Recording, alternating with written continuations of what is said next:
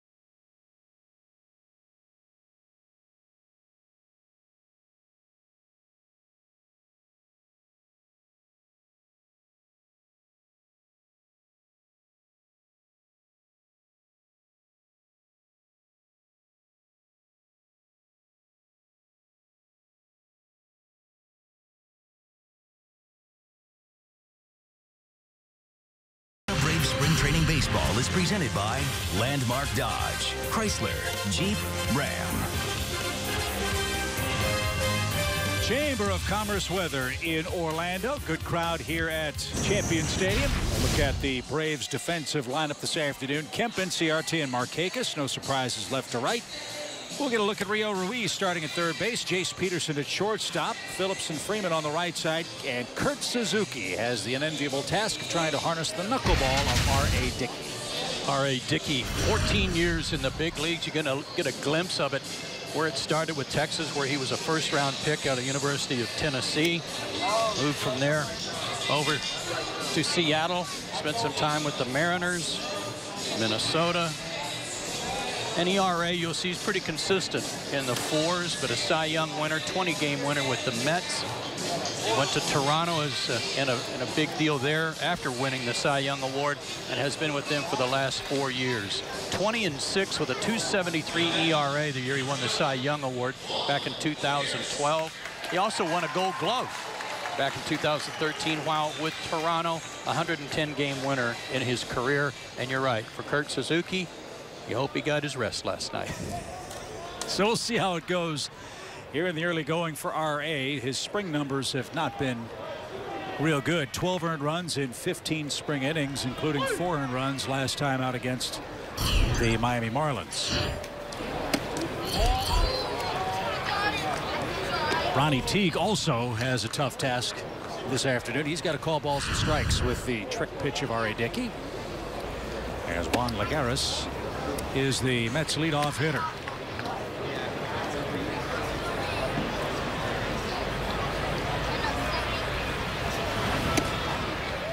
That one found the mark.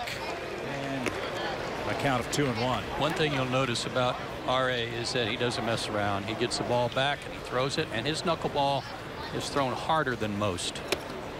Oh,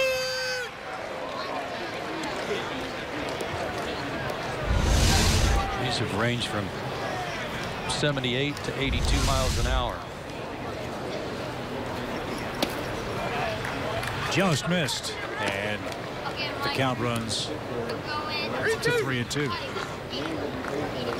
Garris will be an extra outfielder for the Mets this year. Their outfield pretty much set. As Ruiz gives ground third, can't corral it. It's headed for the corner. Lagares on his way to second base. He makes the turn, heads toward third. And it's a leadoff triple for Juan Lagares. One of the things that's plagued R.A. Dickey this spring, and I realize he's been knocked around a little bit, but seven unearned runs. So he hasn't had very good defense played behind him at all in his starts down here in spring training, and that was not a very good play by Ruiz, who, as you said, Chip gave ground on that hopper. They'll rule it a triple. That'll bring up Ty Kelly. Kelly playing second base today. And that got away from Suzuki, and the Mets score on a gift here in the top of the first.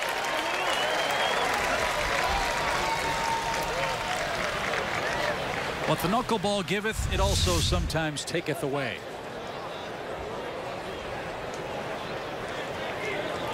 And Kurt Suzuki has never caught a knuckleballer before. This is something has been a work in progress this spring for him too.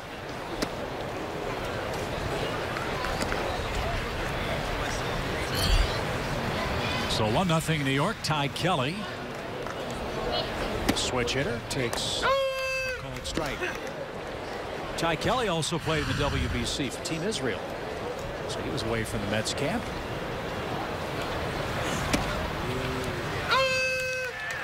And now two and two.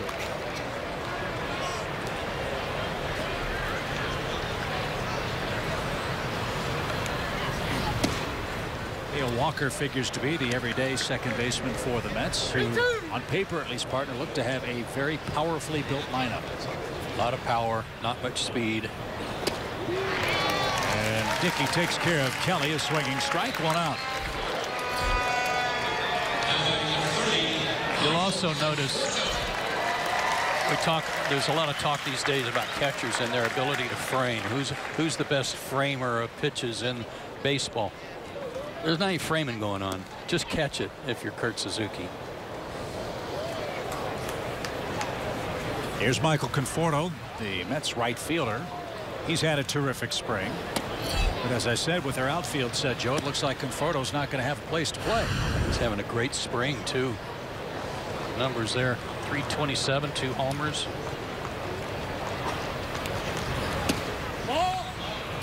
They're certainly not going to send him back to AAA Las Vegas again. He hit like 400 there when he was down for a while last year. Just try to Terry will try to find him some at bats somewhere. High fly ball belted deep right field. And that one, uh, no doubter. It's 2 nothing New York.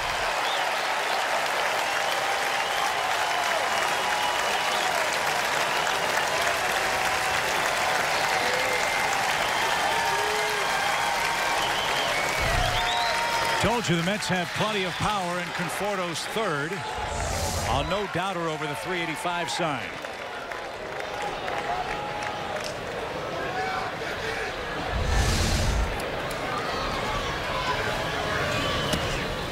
When they have Cespedes, Granderson, and Jay Bruce in their outfield, it's it's hard to squeeze a guy in unless he's hitting like Conforto's hitting right now.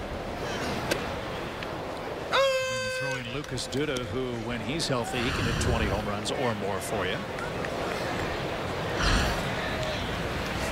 And a quick two-run first.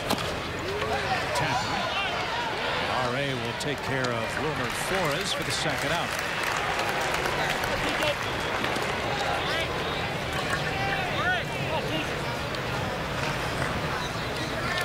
So base is empty. TJ Rivera won the Pacific Coast League batting title last year in Las Vegas.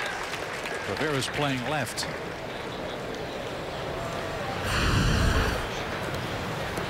He was on Team Puerto Rico in the World Baseball Classic.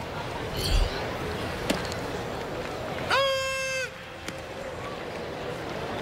Mets 12 and 16 so far in the spring. The Braves are 7 and 19. Speared by R.A. Dickey right off the end of the bat. And T.J. Rivera and the Mets are done after a two-run top of the first. Home isn't just a play.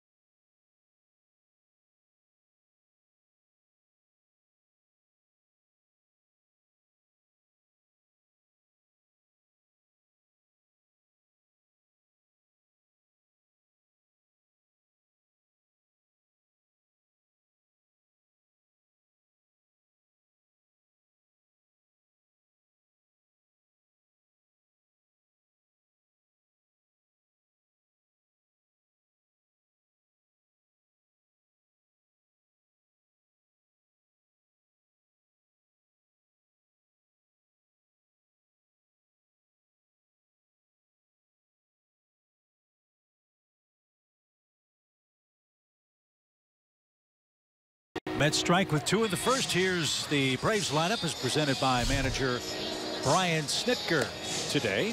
Ender Inciarte will lead off. Brandon Phillips bats and plays second. Freddie Freeman's had a great spring. Kemp Markakis, then Suzuki, Rio Ruiz, Jace Peterson eighth, and R.A. Dickey ninth.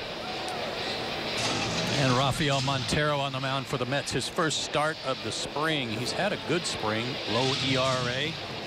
Braves have seen him work out of the bullpen with the big club in the past. That's probably where he will be this year since their rotation is all but set, provided they're all healthy. Braves will see Noah Syndergaard opening day in New York. So Rafael Montero begins his day with a pitch up and away ball one for Inciarte. Ender's second game in the Braves starting lineup since coming back from Team Venezuela in the WBC.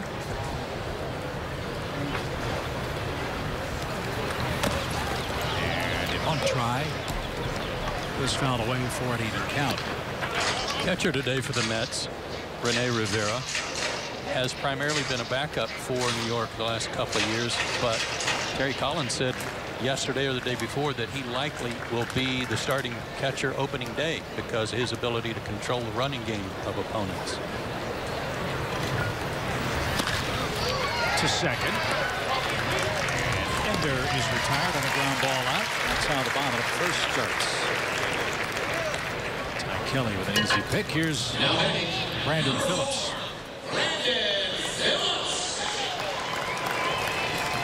You had the line of the morning earlier today when you said, nice TV debut for Brandon Phillips. Yes, two days ago. Yeah, how about that? Already a highlight reel. He and Dansby Swanson were outstanding up the middle. Brandon's hitting 286 in the spring. He's ready to go. And ball one.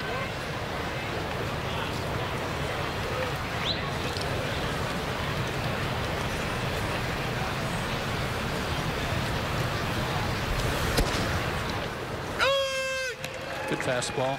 Montero throws in the low 90s. He's got a hard sinker and a slider, but as Terry Collins told us today, he's got to work both sides of the plate.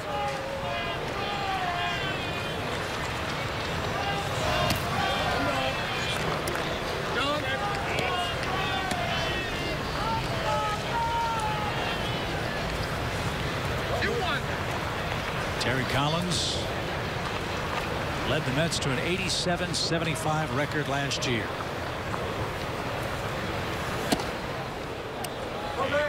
Rather remarkable accomplishment when you consider all the injuries they had to fight through in 2016. And as good as the Mets rotation was and appears to be on paper, remember they still used 12 different men to start games last year. Little pop behind first. Garris, excuse me, Wilmer Flores makes a nice play. Reaching over the tarp, Wilmer Flores takes care of Brandon Phillips. Nice play. He's as valuable as just about anybody on their ball club. Play anywhere on the field. Solid hitter with some power.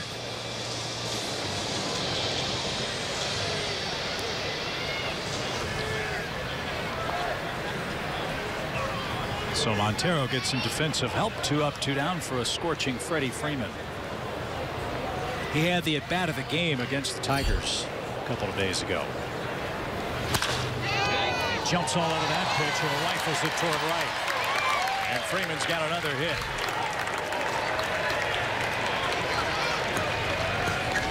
Keep wondering if certain people are ready to go to start the season. This is one guy you don't have to worry about. Is he swinging. You watch him in BP and batting practice, and he's hitting the ball hard all over the ballpark.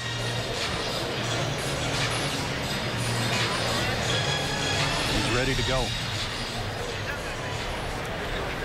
This would be a good spot for Matt Kemp's first spring homer. That's knocked in eight. 2 nothing Mets.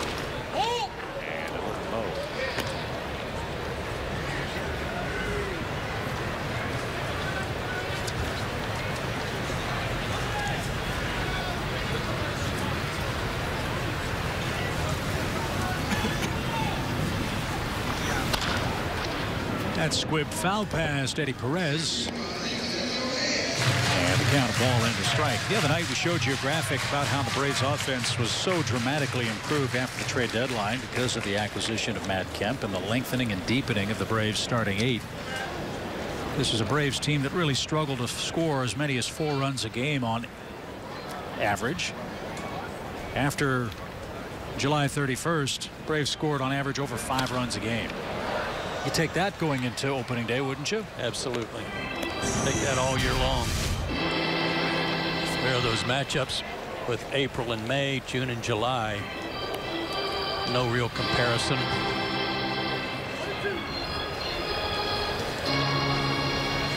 Needless to say, the long ball played a part in that too.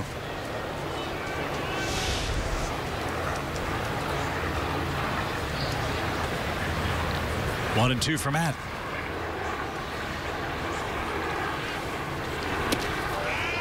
Snap throw to first. Well, with that acquisition of Matt Kemp, you look at the Braves record after the All-Star break. After a 9 and 28 start to the season. The Braves went 37 and 35 after the break. But a lot of people around baseball didn't know that. And won 12 of their last 14 games. So if your goal is to finish strong, the Braves certainly did that. And that's, Joe, why I think there was so much optimism and excitement coming into spring training. Well, Brian Snitker has said as much, hoping to build off what they did. And with the addition of these veterans that we highlighted in our opening comments, no reason to think that they won't be able to build on that.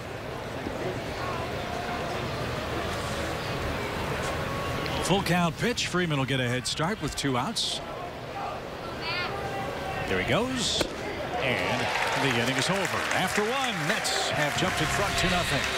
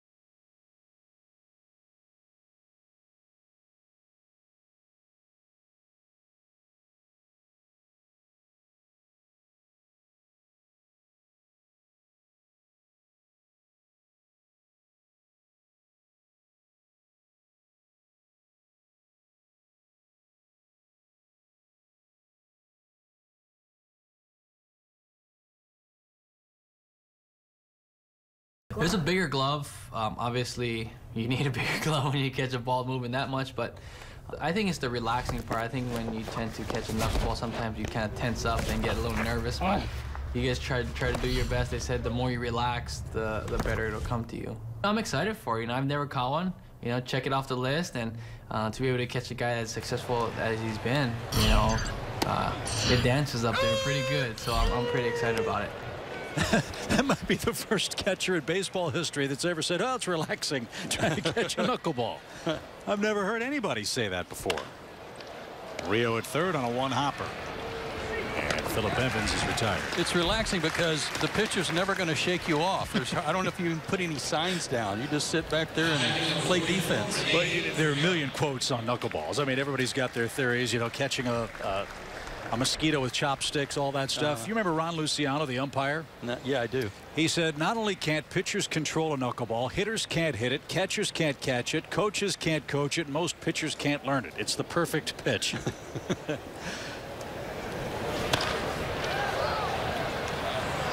and out of play. But really, it's the knuckleball that has saved the career of, of R.A. Dickey. You mentioned he was a number one draft pick out of Tennessee and was all set to sign a, a big first round bonus check when he went in for his post draft physical. They found that he was born without the Tommy John ligament in his elbow. Right. And as a result, the Texas Rangers who drafted him changed the signing bonus and R.A. just kind of made his way through professional baseball as just a guy. And I mean that without disrespect. As this one's ripped toward left and it hangs up for Matt Kemp. Rene Rivera hit it hard.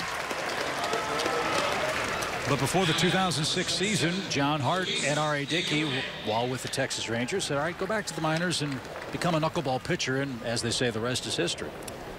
Add to that, that growing up in Tennessee, he was a huge Braves fan. So when the opportunity came along this year to sign with Atlanta, he was one of the first guys in line and is really looking forward to this season, hoping to have a lot of success with the team that he grew up loving. This is Luis Guillorme. And he pops that one toward Ender in right center, and R.A. cruises through a 1-2-3 second inning. Nick Markakis coming up for Atlanta. It's 2-0 Mets.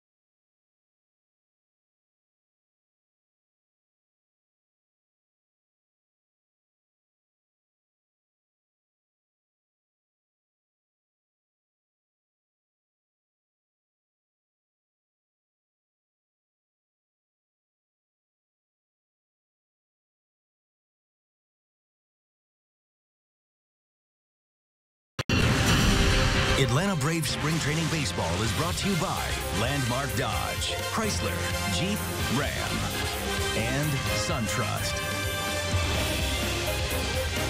Joe and Chip with our Fox Sports crew from Orlando. 2-0 New York. Our second spring training telecast. We'll join you again here Monday night when the Braves face the Tigers again. Nick Markakis, Kurt Suzuki, Rio Ruiz are coming up against Rafael Montero. And that one slapped into left field. Second Braves hit, a leadoff single for Markakis.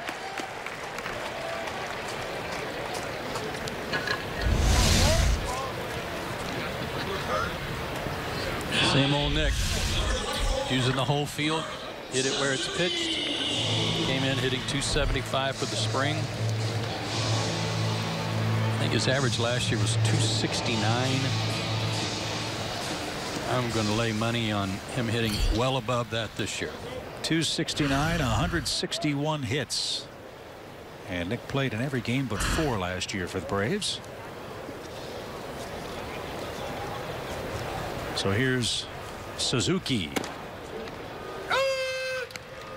Originally in Oakland A. Then went to the Nationals back to Oakland last year with Minnesota.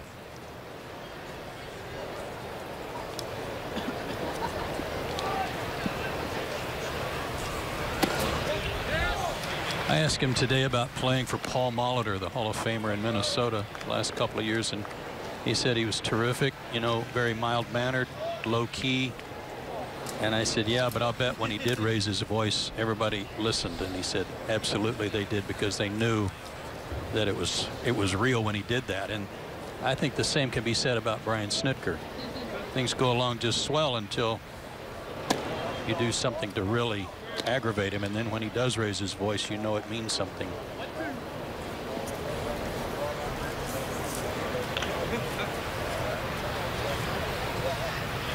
Still a few decisions for Brian Snitker and his staff to make in the final days of spring training. Talk about that after the one two pitch to Kurt Suzuki which is down and in.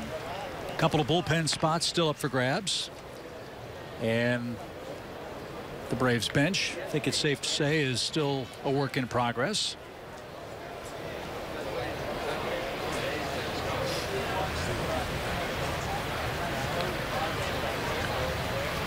Atlanta's already announced their starting rotation for the first five games of the year. This one's bounced towards short. There's one. And Suzuki's doubled up, two out.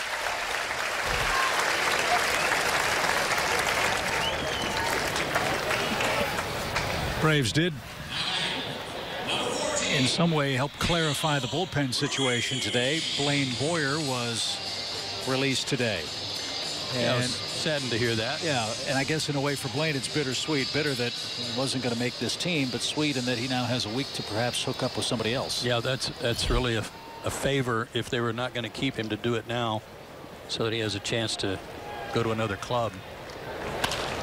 And he got off to a very slow start this spring, but his last three or four outings have been shutout baseball and he pitched well. So we hope Lane can catch on somewhere before opening day. And the other issue in the bullpen is Mauricio Cabrera's elbow's a little tender. The Braves don't think it's serious, but they're going to be monitoring that over the next couple of days. Fly ball to right off the bat of Rio Ruiz, and Montero has no trouble with Atlanta in the second inning.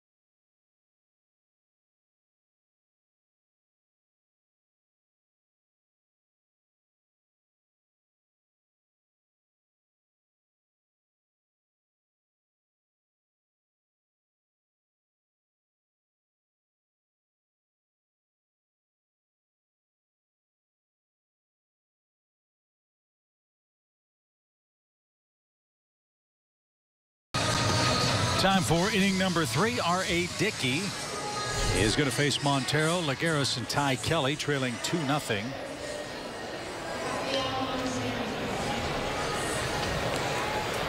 Leadoff triple, a strikeout, ball in the dirt, and then a home run for New York in the opening inning.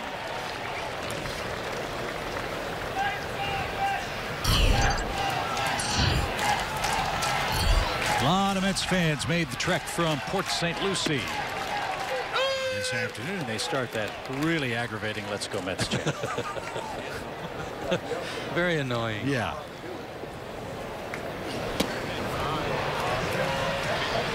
This Mets ball club finished strong last year to get into the postseason. They were one of the wild card teams and played one of the classic greatest wild card games ever when they hooked up with the San Francisco Giants and Madison Bumgarner scoreless game to the ninth.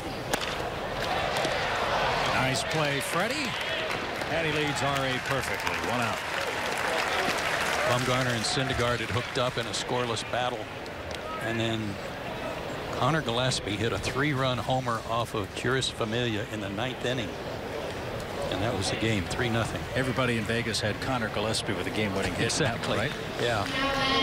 What a great game, though. And here is Lagares again. He tripled down the left field line. How do you like the Mets in the East this year? I would presume to say that on paper the two best teams in the division are the Nationals and this New York club. Absolutely, they are on paper. I'd like this Mets team lot. I like their lineup a lot. Uh, I think they have an excellent chance of unseating Washington for the National League East, but it comes with a an asterisk, meaning they've got to keep their rotation together. They've got to keep everybody healthy. And if they do, what a rotation. Syndergaard, Matz, DeGrom, Harvey, and then a trio to choose from of Zack Wheeler, Robert Gsellman, and Seth Lugo. The latter two we saw last year, and we were really impressed with those two kids pitching against the Braves. Yeah, and Lugo's even got longer hair than DeGrom. Gsellman has longer hair than DeGrom. That gives him some advantage. Lugo. oh, oh. Lugo uh, pitched the championship game for the World Baseball Classic for Puerto Rico and pitched well. That was a good pitch.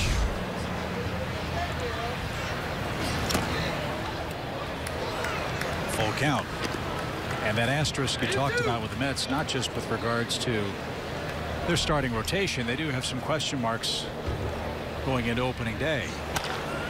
This one's dumped behind first and just foul. I mean, just foul.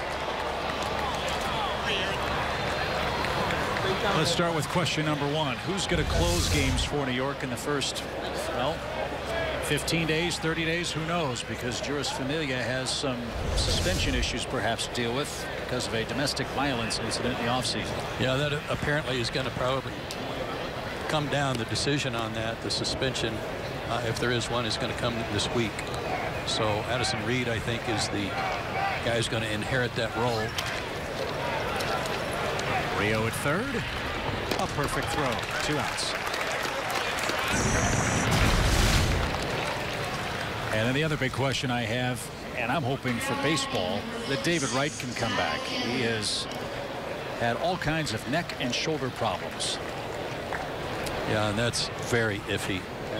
He hasn't thrown a baseball since the first week of spring. You see those numbers from last year. Uh, a lot of power, solid pitching numbers, even with all their injuries. Ah! Spent some money to bring Cespedes back. And according to Terry Collins, Cespedes has come back in great shape, working hard, playing hard, and ready to prove he's worth the money. Ah! Two quick strikes for Ty Kelly, who struck out his first time up. And this one's popped up right in front of the Mets bench. Play. Well, through all of that, last year, the Mets being a playoff club, they really had to work hard to fight off the Braves last year. Team split almost perfectly split the 19 games head to head last season.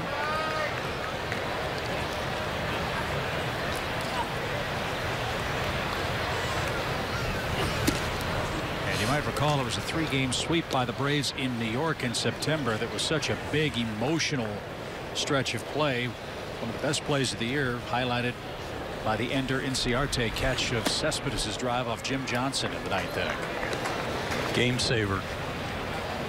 Braves won seven out of nine games in New York last year. And they'd love to continue that work. Because two of our three trips against the Mets come in the month of April this year. It's a little weird. What a quirk that is. And don't go back to New York till September. Weird.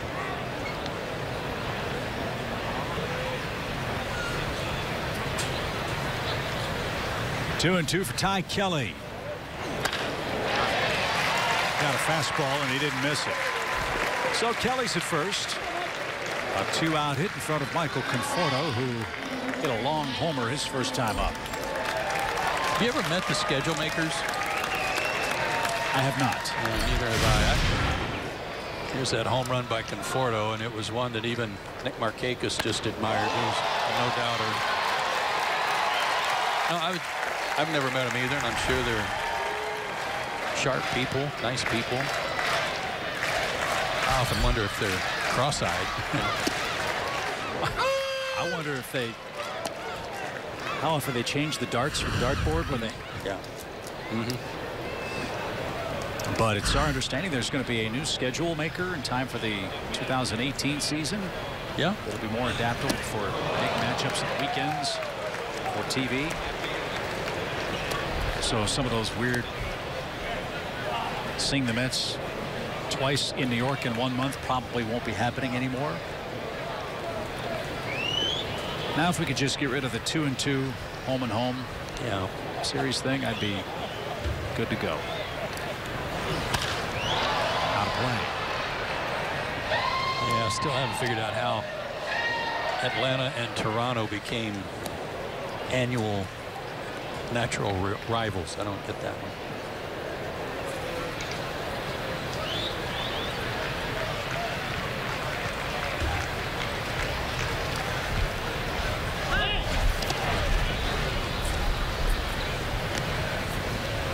These two uh, veteran pitchers the Braves signed, Dickey and Colon, may surprise you in what good defensive players they are. Dickey, as I said, has won a gold glove in his career. They're very active, very agile. And the knuckler takes care of Michael Conforto. Dickey has his second strikeout. He'll bat second in the home third next.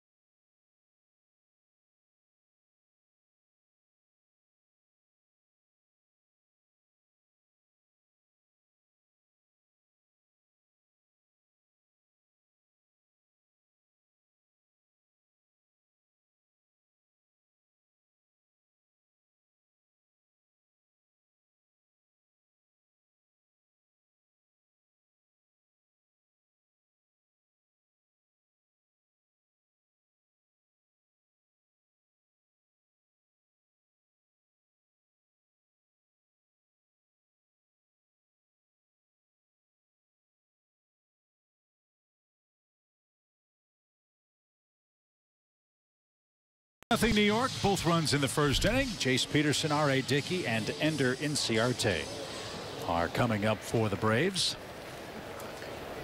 Rafael Montero continues his good work. He's faced seven in the first two innings with a strikeout and a double play.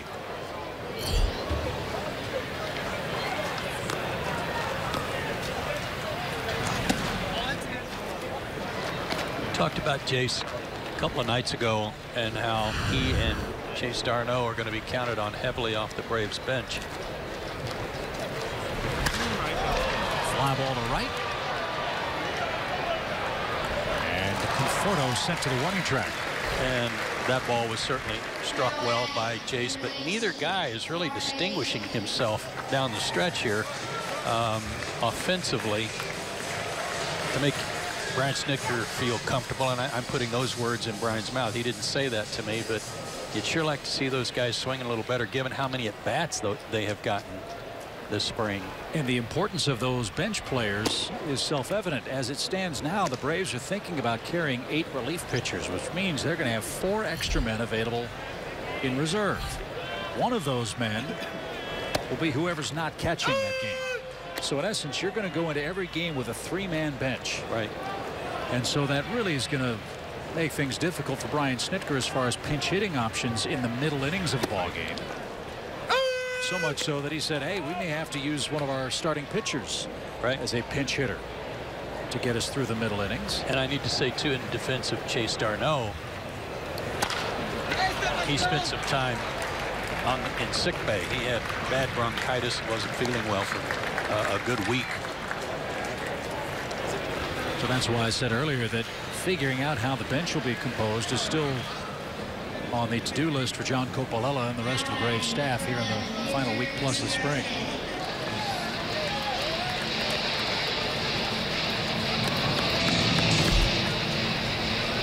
Ender grounded out second his first time up. We're at the stage of spring where regular guys are going to start getting three, four at bats per game, especially in the case of Inciarte, who was away with the WBC.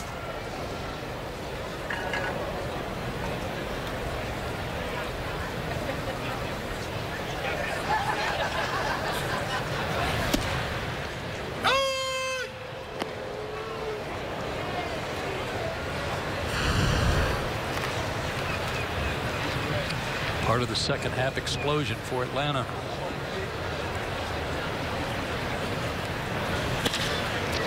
To center. John Mora just checked in, and he's tested with a soft fly ball that ends Atlanta's third inning.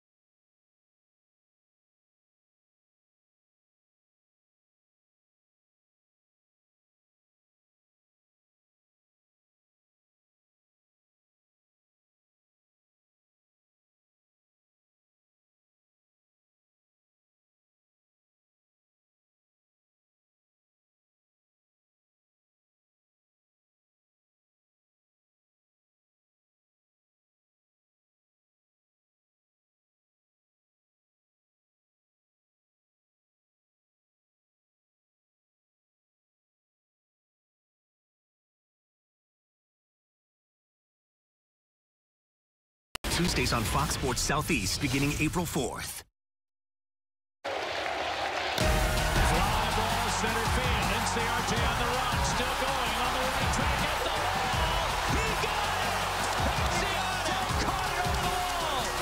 Incredible catch to save the game. Maybe the catch of the year right there.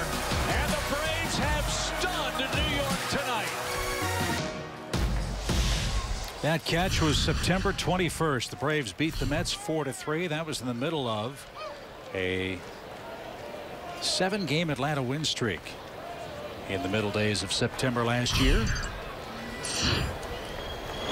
And that was such a stunning loss for the Mets because they were fighting tooth and nail to, Right. to stay in the playoff race. It was just he had to go so far and time his jump perfectly to reel that in. Brilliant play. And a gold glove season last year for Atlanta's Ender Inciarte. He stole 16 bases. We talked about this a couple of nights ago too. I mentioned that I expect him. I look for him to steal 20, 25 maybe this year. And he got caught stealing seven times. Ron Washington is the base running coach now. And talking to him before the game, we know that he's been out early with these guys working on infield work. Well, he's been working a lot, talking to Lagares a lot about stealing bases and about when to go, what to watch for, you know, picking up some of the nuances that might help him. So another piece of experience from Ron Washington to impart to some of these players that'll help them in the long run. Third strikeout for Dickey. So much of a base stealer's success is predicated on what the, in the case of Inciarte is the leadoff man, what the number two hitter does. The Braves feel very confident, I'm sure, that Dansby Swanson can handle the responsibilities of being a two-hole hitter. And he'll have a full season, not just a little more than a month, to work in tandem with Inciarte, one and two in the batting card. One of the disadvantages of that for a young player like Dansby is taking pitches. You know, if you've got a guy who's been able to steal some bases, get into scoring position, you got to give him a chance to go. So there might be some pitches early in the count you take that you would ordinarily swing at. That's hard on a young guy.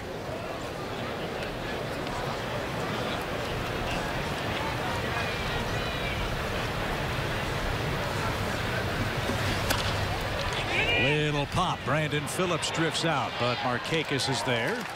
And he puts that away for the second out. TJ Rivera retired and Philip Evans, the Mets third baseman's coming up. Calling all kids, your Atlanta Braves are having a special opening day just for you on Sunday, April 16th. There will be special activities and prizes just for kids and the first chance to run the bases at SunTrust Park after the game. Go to Braves.com slash tickets today for more details. Have you heard about the zip line? Uh, yeah, I have. Bobbled, but no trouble. Evans retired. I don't know what the weight standard is on that thing, but I hope we'll be able to try it out. Ain't no we involved.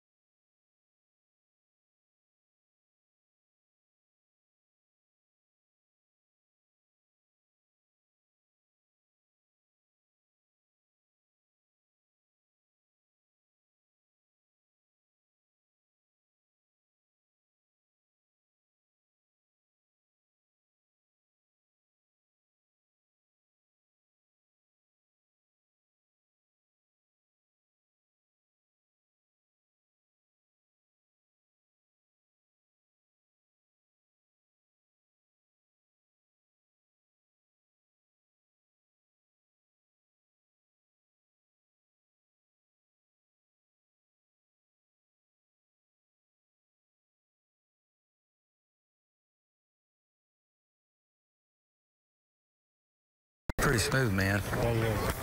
See, I watched him play in Cincinnati. I say that guy, look, he play, he plays the game easy. It's like it's slow. You know, That's what the good ones the do, good ones. slow it it's- down. he slows it down. The good ones slow it down. And I remember I told him, guy, when he comes to the plate, he scares the heck out of you.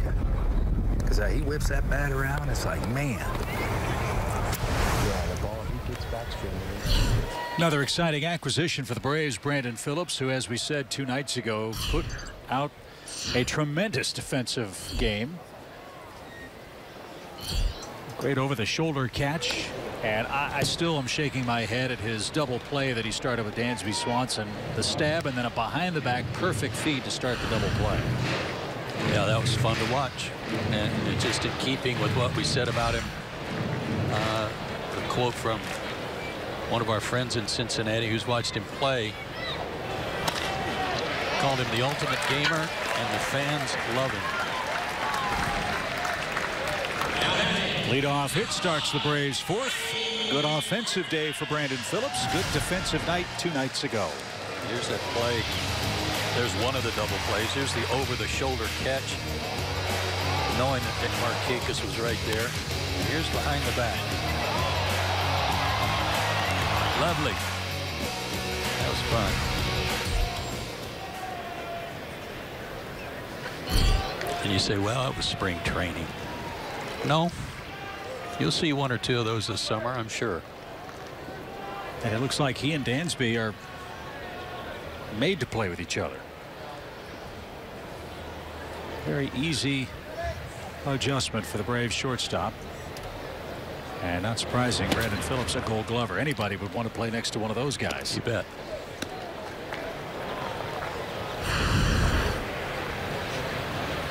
Another day, another hit for Freddie Freeman. He's got a first inning single.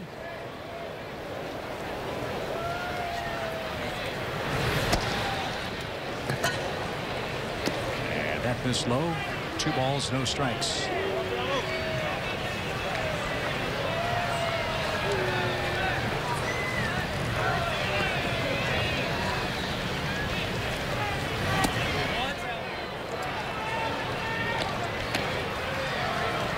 Freddie would be the first to tell you that the first weeks of the season were almost lost offensively for him. But did you know he finished with a 302 batting average? Highest batting average since the 2013 season for him. 30 home runs for the first time in his career. And he finished with 91 runs batted in. 89 walks, too. His on base percentage a perfect 400. I imagine you'll be seeing teams pitch him just like that. But if you do, then you have to mess with Matt Kemp. Yeah, I I would think if you ask John Coppola or Brian Snitker or any of the executives with the Braves, uh, do you expect Freddie to add to his numbers this year? Naturally, the answer is going to be, yeah, we hope so. But you just take Freddie being Freddie. More the same. First great scoring chance for the Braves. Two on, nobody out. And it sounds to maybe the casual fan like it's not a big deal, but how big a deal was getting Matt Kemp for Freddie Freeman? What did that production mean for him at bat to at bat? Numbers kind of spell it out, don't they? Uh-huh. A shot to the left side and around the horn double play. Two of those turned by the Mets defense. Phillips to third, but now there are two outs. A nice play there by Philip Evans at third base. That was a quick release to get that double play started. Got a good hop too, but quick release, perfect feed. Jose Reyes will be the starting third baseman for the Mets. Asdrubal Cabrera will be the shortstop. Neil Walker and Lucas Duda figure to play on the right side of the Mets infield. Rivera and Travis d'Arnaud will be the Mets catchers. And downstairs from Markakis, one ball, no strikes. One of the th interesting quirks about uh, a player who's about to become a free agent is that teams, in order to get compensation back if that player signs with another team, they have to tender them a qualifying offer. If they don't do the qualifying offer, they get no compensation. So then the player has to decide, am I going to go ahead and go out on the free agent market and see what I can get? Or in this case, this offseason, the qualifying offer was 17 plus million dollars for a one-year deal. And for Neil Walker, that was a no-brainer. Hmm. I'll take the qualifying offer. Yeah. To second. Tricky hop. But Markakis and the Braves are out of luck. Good pitching by Montero. Two on, nobody out. Three outs with two ground balls, and he still leads two zip.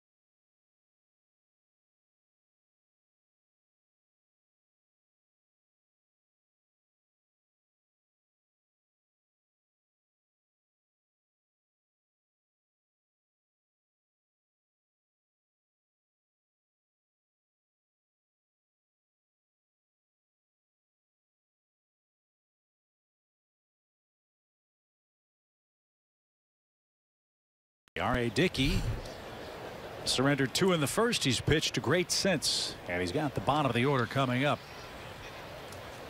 Rivera, Guillorme, the pitcher spot. And then Mora. Again, Juan Lagares left the game after the third inning today. We're told he has a left oblique strain. That guy just can't stay healthy, can he? He cannot. Bad time of spring for that. That time, anytime. Yeah, 60 pitches now for R.A. Dickey. And we're in the fifth. So he's on a good pace. And you say, well, does a knuckleballer ever get tired? Well, maybe not. Tim Wakefield didn't a few years ago. What did he pitch on two days rest or something? Uh-huh.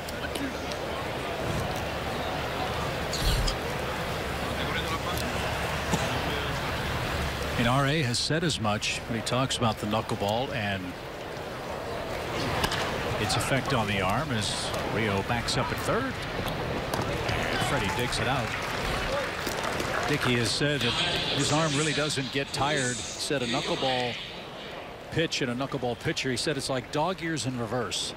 He said I may be 40 something years old but I really feel like I'm 26 or 27. Uh, makes two of us.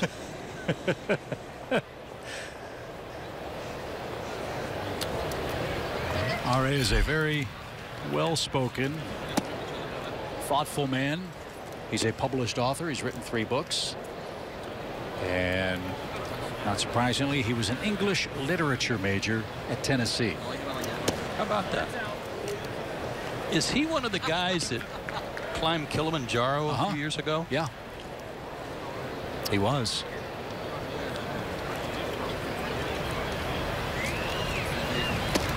He missed to Guillorme. Three balls, no strikes.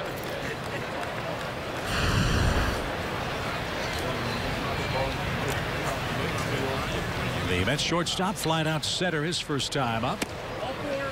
And he takes ball four. Guillorme's got terrific hands. In fact, some publications said he may be the best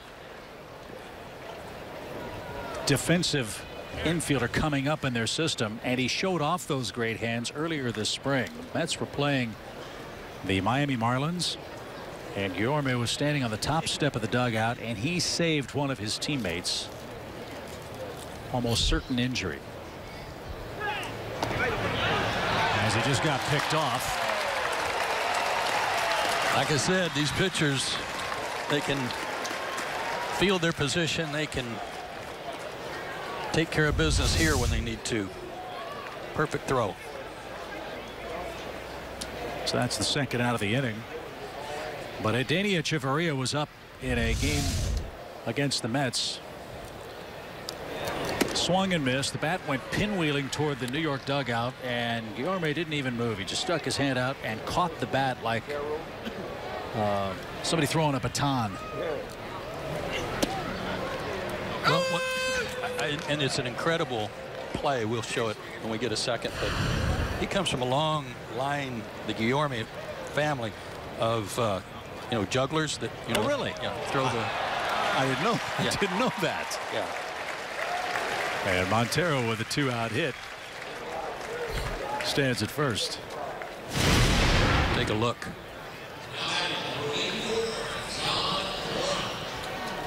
No problem. I mean, he didn't even move. Yeah, I got it. Didn't even duck. Amazing. And no, the bat obviously didn't have a lot of pine tar. Otherwise, Hechavarria wouldn't have lost in the first place. Mm-hmm.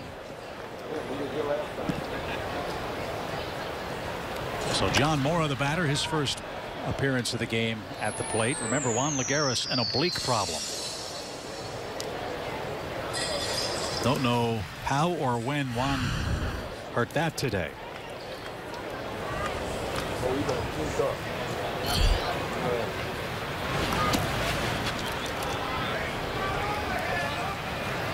The Mets have a very crowded outfield situation with Cespedes, with Curtis Granderson, who's going to play center field for them.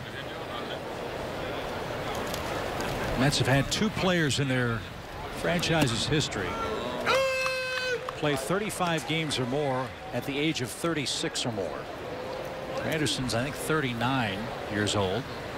Brett Butler was one of those two players. Willie Mays was the other. Wow. So Curtis Granderson will try to join that group. And he had a great line when somebody asked him about playing center field every day at Citi Field. He said, I'm no Kelly Leak out there. Bad news bears. so Curtis was a terrific center fielder in his younger days with the Tigers. A little dribbler. That's tough play. Brandon behind the back and not in time.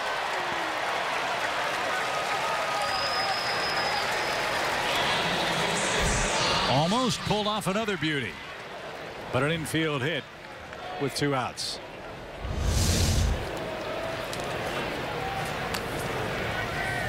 Tossed it from where he caught it rather than come back around to the front. Almost.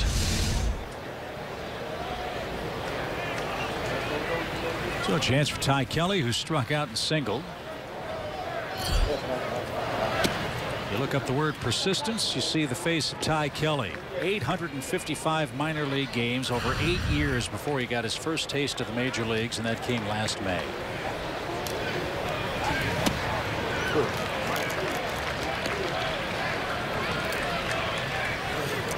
Well, something else. I mean, when your name is Kelly and you're playing for Team Israel, you got something else going for you there, too. Good point. One ball, one strike. Suzuki smothered that. After the first inning, Kurt's looked pretty comfortable back there, don't you think? Yeah, he just made a nice stop on a ball in the dirt uh, with Montero at first. Kept him over there.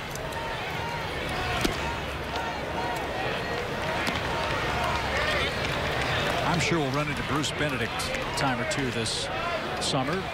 Bruce, a terrific scout. Caught Phil Niekro at his knuckleball a lot.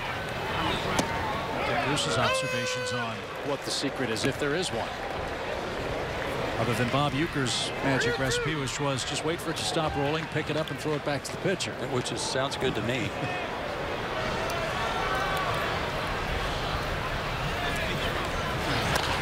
A little squibber. Dickey. Off balance throw. Fell to the turf but made the play. So R.A. Dickey with a nice play to pitch himself out of fifth inning trouble. It's still two zip New York.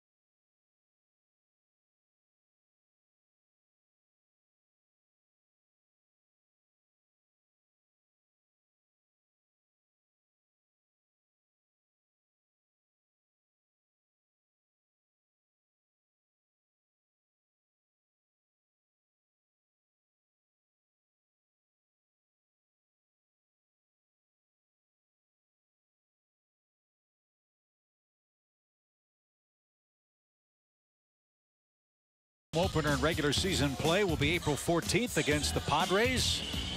41,500 seats. The 108,000 square foot canopy extending 60 feet over the seats will provide fans protection from the sun and the rain. It'll be the most technologically advanced stadium in the country. As soon as you pull into the parking garage, you will be instantly connected to Wi-Fi. That's cool. At SunTrust Park. I don't think they thought of that at Fenway when they built that one. Nope. They weren't concerned with it too much. Nope. Nope. And of course, the Battery Atlanta, the live, work, play development. And Battery will be open for business 365 days a year. Uh, and that's what I just keep saying come early, stay late. It's just a place to come and meet friends and family uh, before the game. Little pop by Suzuki. That'll drop into shallow left field, and Kurt's aboard with his first hit of the day. Take your pick of great places to eat or have a, a beverage of your choice before the game, before coming into the game. And uh, afterwards, if you want to stick around and let traffic clear a little bit before you head home, likewise, get something to eat, meet with your friends, talk about the game. It's just going to be a a one-stop place for everything. It's just going to be a great deal of fun. We'll get our first look at SunTrust Park on the 31st. Braves will be playing the Yankees. That game will be open for A-list members, season ticket holders. We will be broadcasting the game for you on Fox. And for those of you making your way to SunTrust Park for that game on the 31st, don't miss our welcome home special. We'll take an inside look at SunTrust Park. With our Fox Sports crew, Paul Byrd's going to join us, Kelsey Wingert. You and I will have some vignettes, as it were, to let people know about comings and goings and things to see and do, not only in SunTrust Park, but the Battery. And we'll be joined by John Schuerholz, Derek Schiller, Mike Plant, and Terry McGuirk, the respective heads of the Braves organization, to get their thoughts on the new home of the Braves. And let's face it, it's all new to us. Uh, as we go along, we're going to be learning more and more about some of the great things at the ballpark and great places to watch a game from and and how to enjoy it. So that will be a big part of that. From a player's perspective, we're used to going every third or fourth day to a new ballpark and all the idios idiosyncrasies of a new stadium. As the home team, not knowing what your park will play like, how difficult a challenge will that be for the Braves in the early days of regular season play, you think? Biggest part of that, I think, is getting a feel for how the infield plays. Okay. The dirt, is it fast? Is the grass fast? Is it slow? How smooth is it? Those types of things.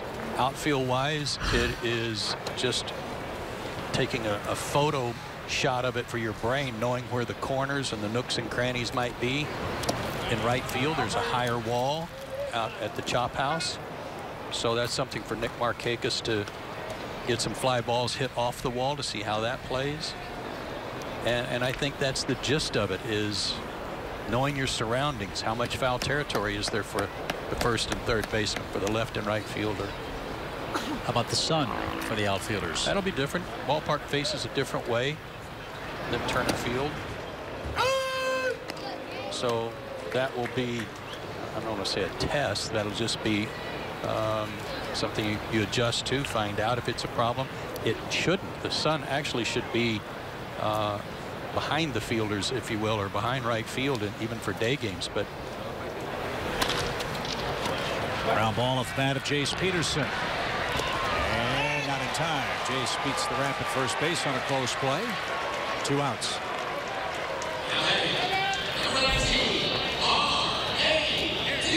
So R.A. Dickey will have another at bat. Two outs here in the fifth inning. So yeah, we're excited. We'll see the San Diego Padres to open up regular season play on the 14th. Padres are in for four games. The Nationals come in for three.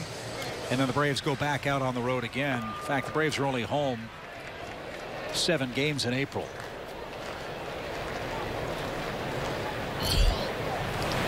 That'll let everybody work out the things that need to be worked out in the new facility. The benefit of that is June and August and September, the Braves are home a lot. That's a good thing. Only 10 road games in the month of June. Slapped toward the seats tonight by R.A. Dickey. And he's behind 0-2. We'll get our first look at the Mets in Atlanta. May 1st, 2nd, 3rd, and 4th. Then the Cardinals come in for a three-game series. Then Toronto, Washington, and Pittsburgh. That wraps up the home schedule for the Braves in May. Tapper back to Montero, who has pitched a beauty. This was supposed to be Jacob DeGrom's turn to pitch in rotation. He's pitching back at Port St. Lucie. So far, Montero has not made the Mets miss him. Home isn't just a place.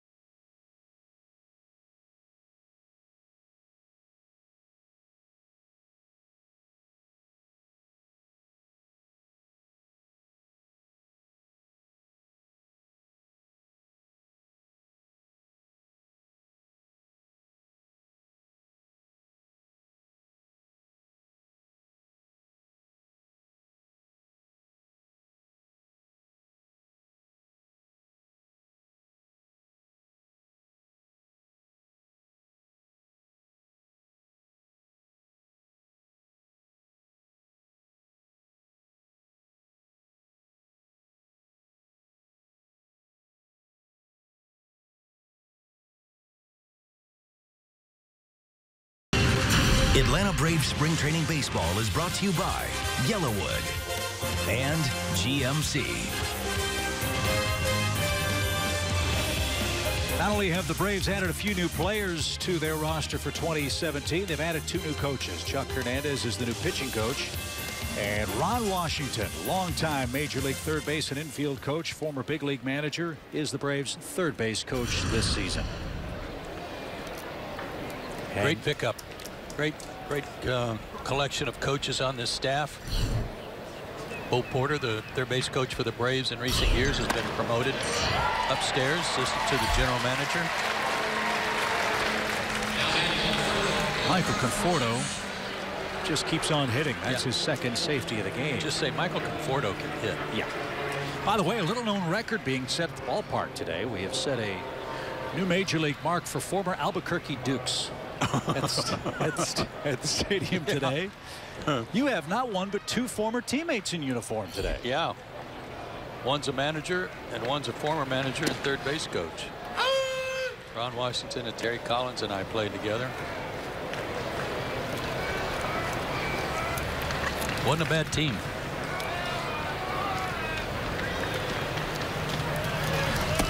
Wilmer Flores takes outside. One ball, one strike. Tell us a little about Ron Washington. You know him from obviously your playing days, but all your days in the American League as well. He's aggressive. He expects you to play aggressively. Uh, no holding back. There's, uh, you know, don't don't give excuses. Just get better. Do it better the next time. And he was talking about some of the guys he's been working with, and he mentioned Ozzie Albies is one early in camp that you tell him something once, you don't have to tell him again. And he likes that a lot when players may make a mistake, but they don't make it repeatedly. That's something he likes. But he is certainly vocal. Sharply hit to left by Flores. Back-to-back hits for the Mets here in the sixth. He'll be the first, Ron will be the first to pat you on the back and brag on you, but he'll also be one of the first guys to say, what was that? What were you thinking there?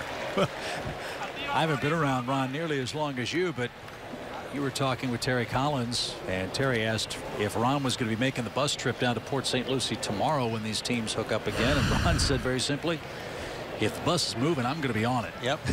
And that's been the case all spring. TJ Rivera. Popped out a play foul. Braves bullpen starts to work. As R.A. Dickey approaching 90 pitches, it's Kevin Chapman, a left-hander, who's making a late bid to pitch his way into the Braves bullpen.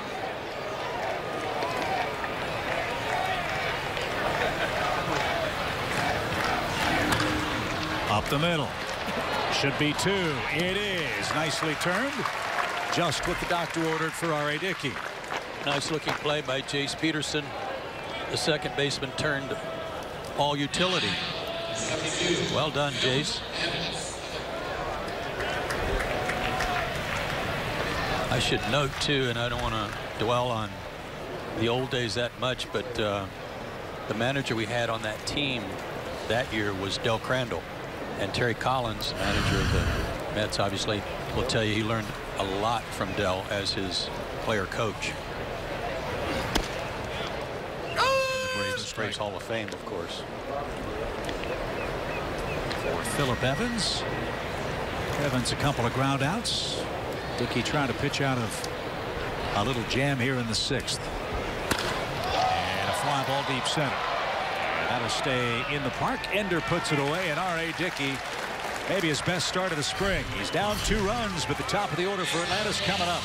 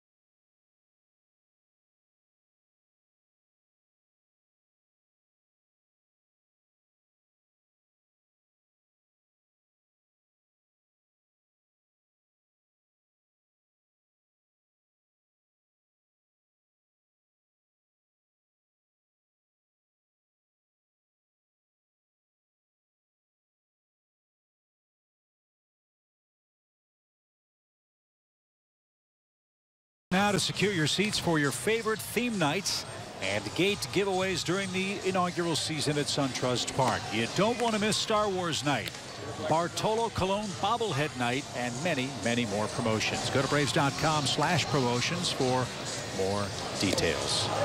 Mets 2, Braves nothing. Both New York runs came in the first inning. A triple, a wild pitch, and a home run.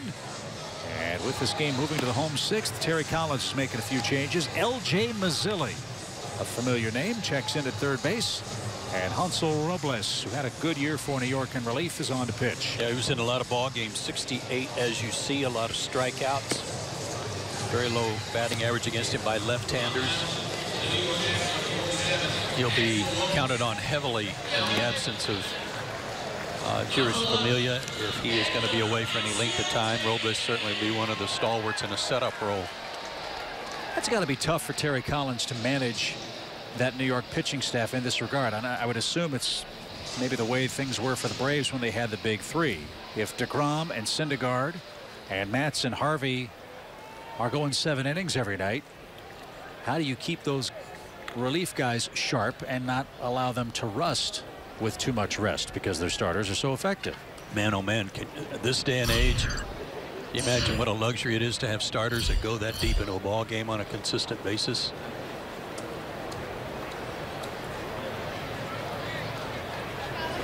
The other side of that is they can ill afford to push those guys at the risk of maybe hurting them or re-injuring something. So they're going to, you know, they're going to be very careful on pitch counts. Inciarte leads off for the Braves, who have four hits so far in the day. Rafael Montero, very impressive, wouldn't you say? You bet. Five innings of four hit shutout ball.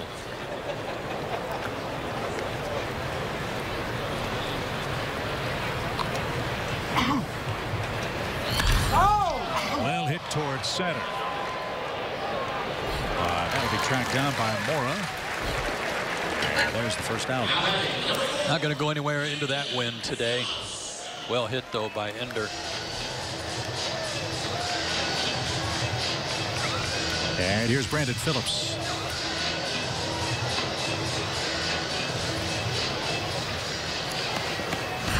Brandon's 35 years young. He'll turn 36 in late June. Three-time All-Star. He's working on a few milestones this year. Brandon Phillips is trying to become only the fifth player in big league history to do as a second baseman the following 2,000 hits 200 homers and 200 stolen bases. He's 146 hits away from 2,000. He's six homers away from 200 and two steals away from 200. The only other players who have done that are Robbie Alomar, Craig Biggio, Joe Morgan, and Ryne Sandberg. They all have a Hall of Fame ring to them. Brandon's led National League second baseman in fielding percentage three times. In fact, in 2014, he made just two errors.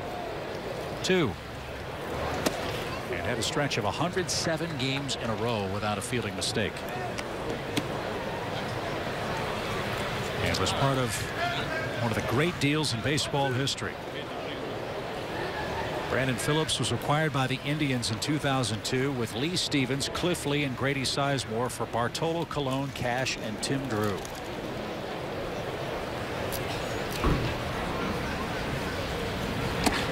Advantage Indians. I told Brandon when I introduced myself to him a couple of days ago that I said I was at Turner Field working tonight that you were at Turner Field sitting in the box seats behind the on deck circle after having just been drafted in the second round by the Expos. Felipe Alou, the manager, and you were sitting down there watching your new team. Little pop. And it drops in front of Mora. He said, yeah, that was a good night.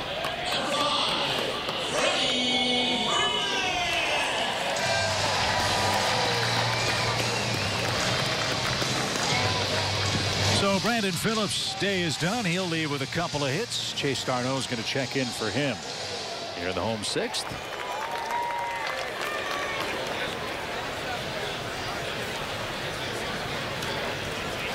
Freddie's reached twice infield hit and a walk. And he'll face down the man that's worn 47 in New York better than anybody else in team history. Hansel Robles. Got that right. But speaking of others who have worn 47, isn't it old number 47's birthday today? It is. I say old. Yeah, Tom Glavine is celebrating his 65th birthday today. Hard to believe. That's driven hard toward left. But the wind's going to knock that down. Back to first. Freeman gave it a ride, but he's the second out. Yeah, I think it's safe to say we're talking about dog years in reverse. I think for Tommy, it's dog years fast forward because he has to work with us so many games. Right. So, Tommy, happy birthday. Yep. Medicare is no fun. Matt Kemp's coming up. Matt struck out and hit into a double play.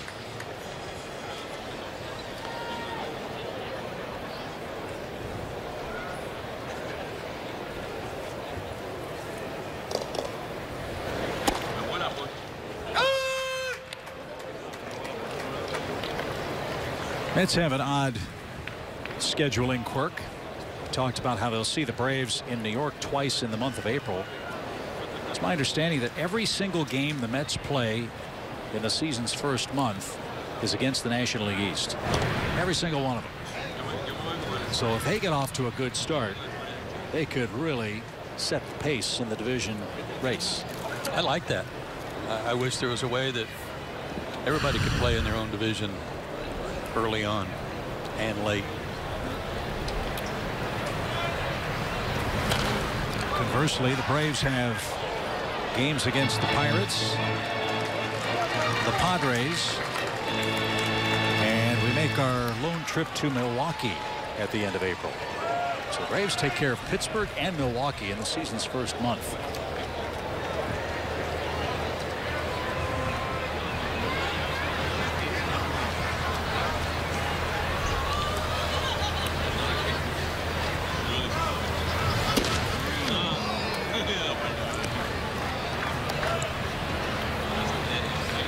Rushed that fastball up there at 94 miles an hour. He's got plenty of company on this Mets staff with regards to the big fastball. Two and two.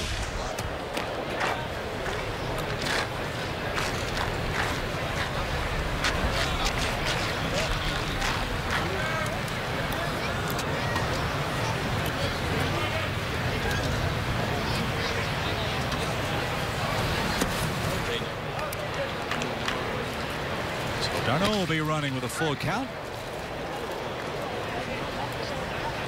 Decent change up there. He turned it over a little bit, hoping Matt would swing over the top of it. But full count, tying around at the plate. Let's see what they decide to do.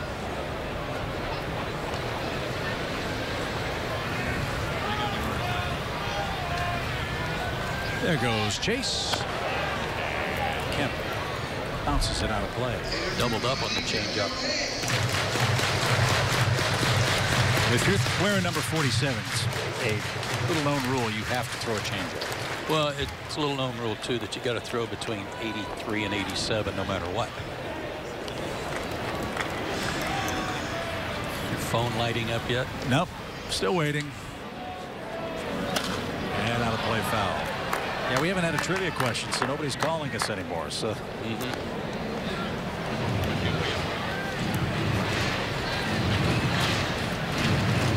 Tom going to be with us opening day? I assume he would be. I hope so.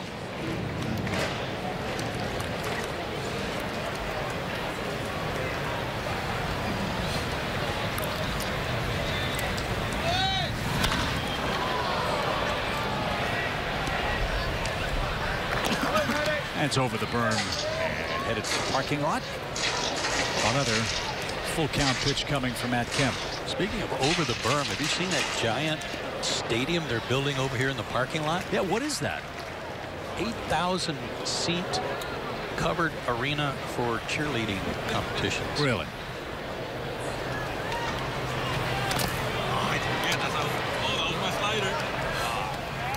Rivera couldn't hang on.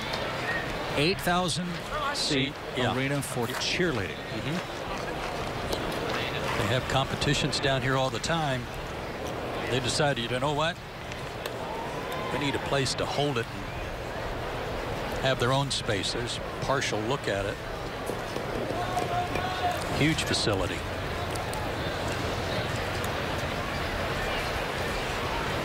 Think it could get loud in there? Whew.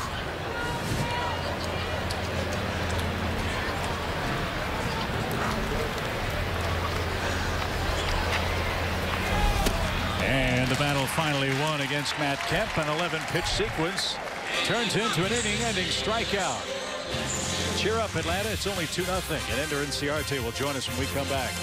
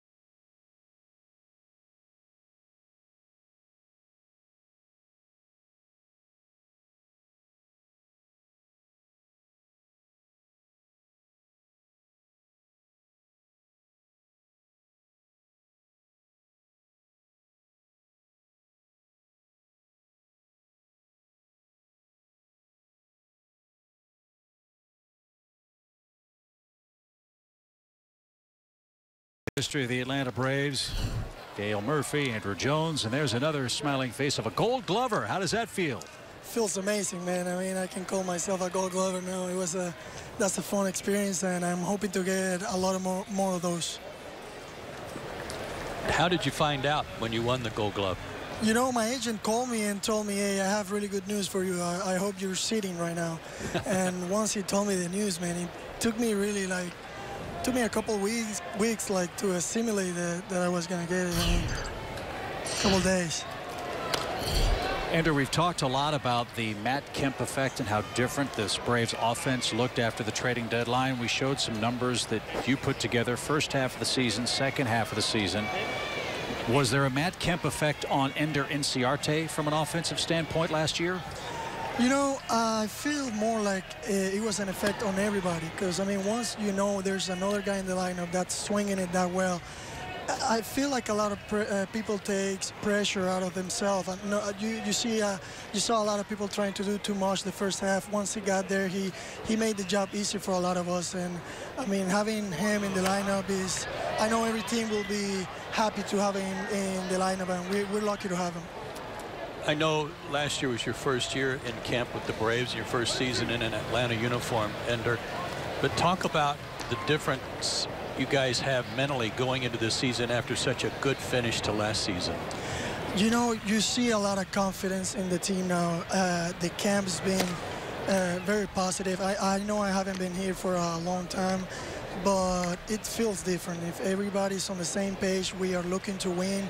We are having a lot of fun in on the field and outside the, the field, and we, we feel like brothers now. I mean, a lot of us have played for a while now together, and we're pulling for each other. We're looking forward to start the season and hopefully start, uh, win a lot of games in that new ballpark.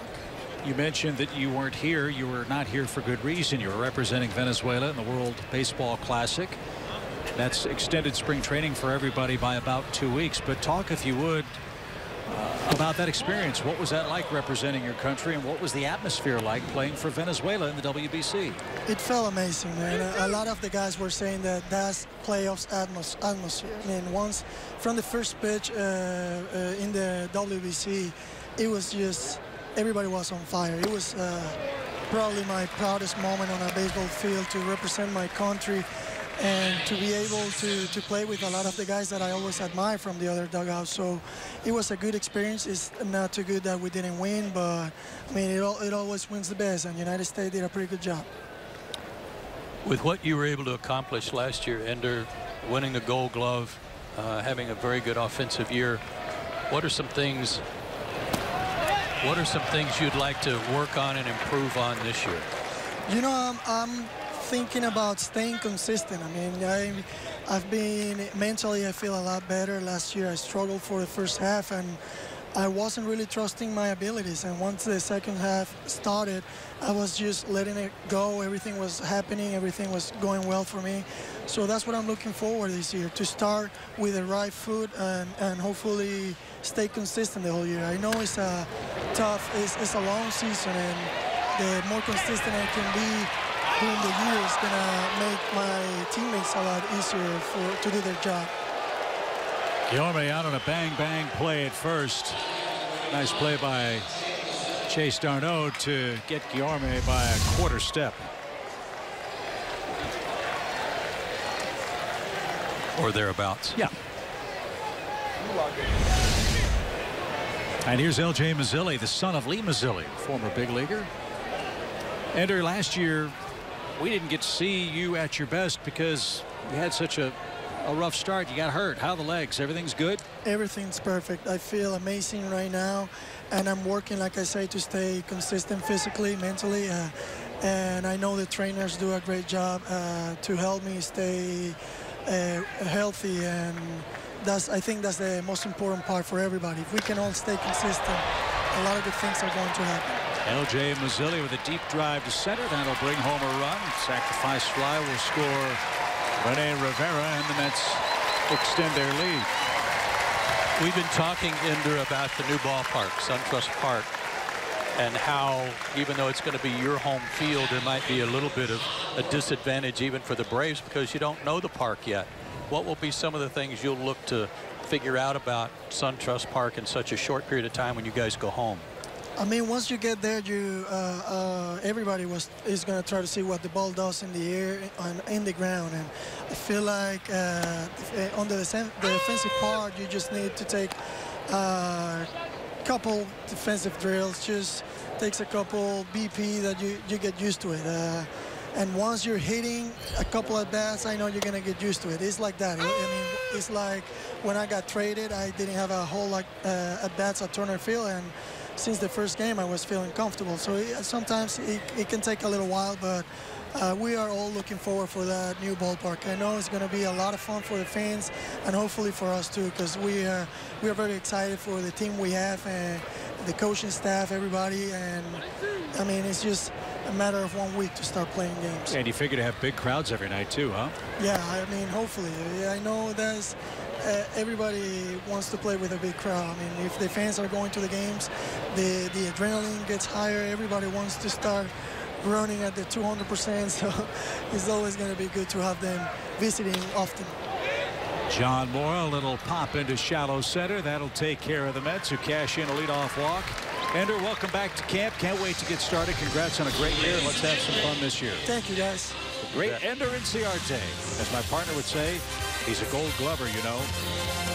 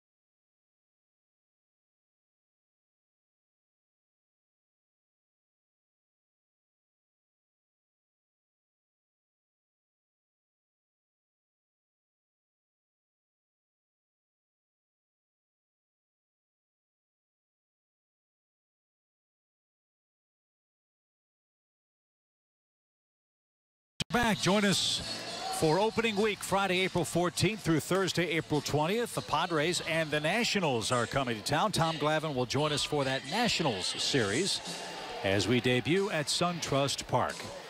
Go to Braves.com slash tickets today and get your seats now. 3 nothing New York.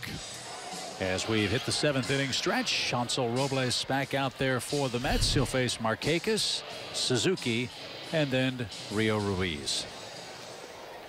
One defensive change for New York. Kevin Plawecki is behind the plate.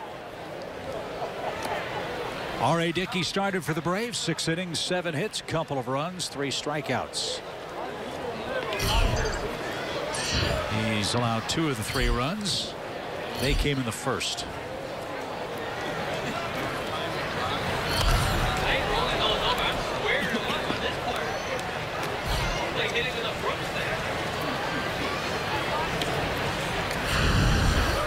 Talked about this a little bit last year about Nick's bat and how unique it is, at least to me.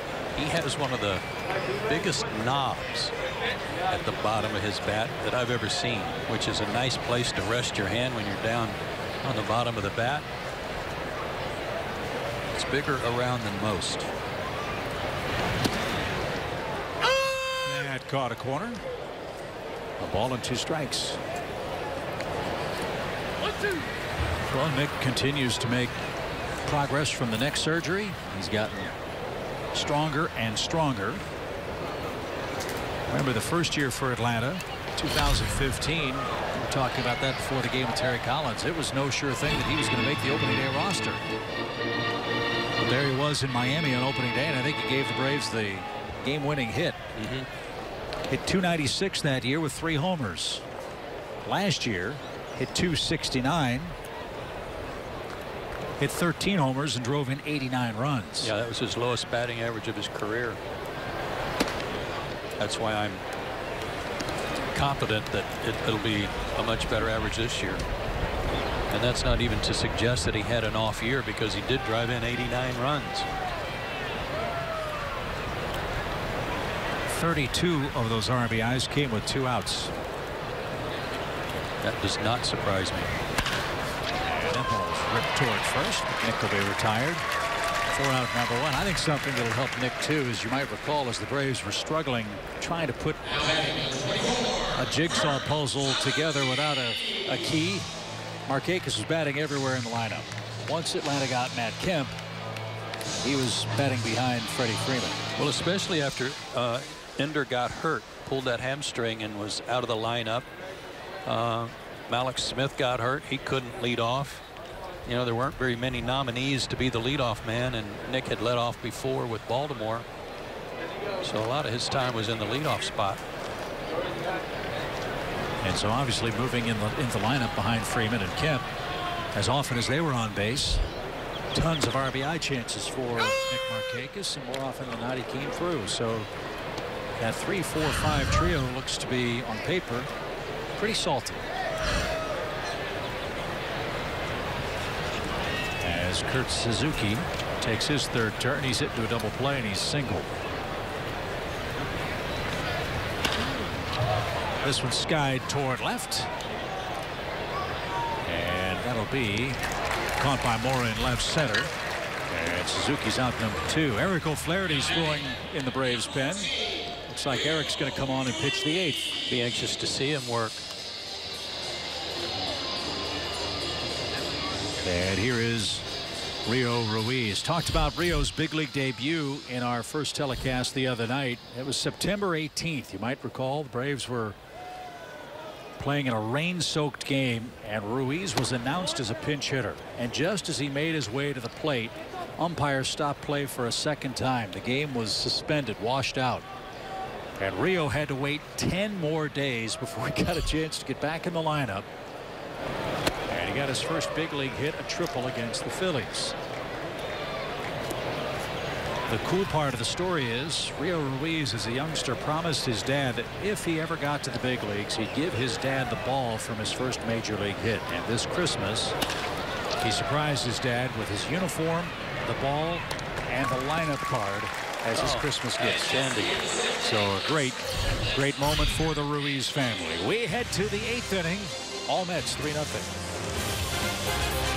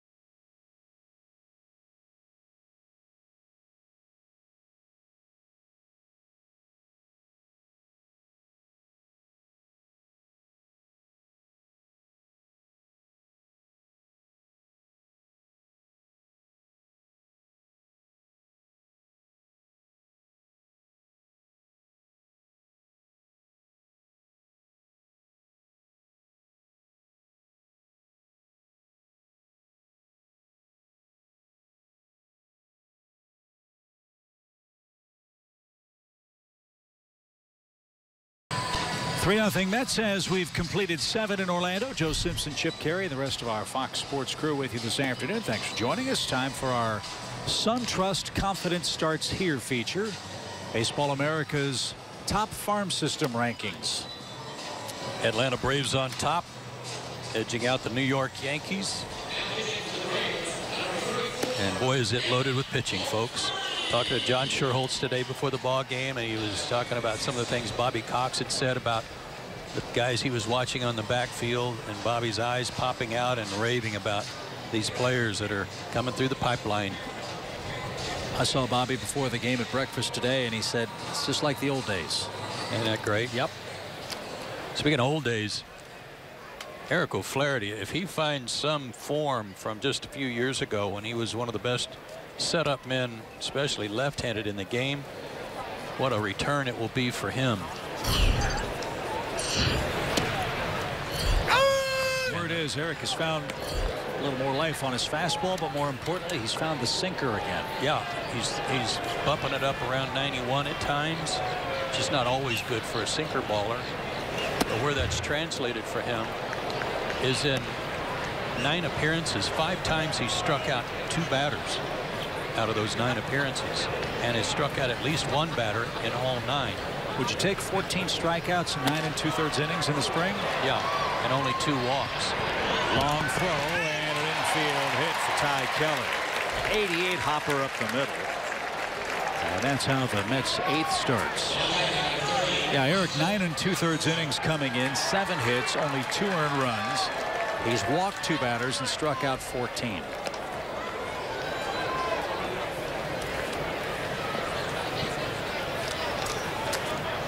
And as things stand now, I would assume that it would be a shock if Eric didn't make this. Uh, agreed. His last three outings, three innings, one hit, no runs or walks, and five strikeouts.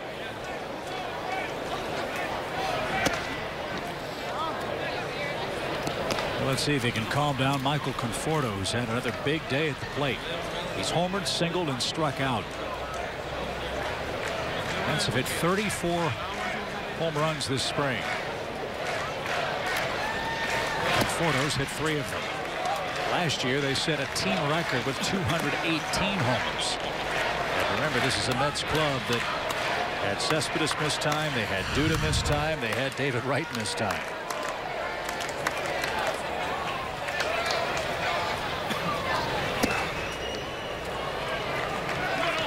Three and zero.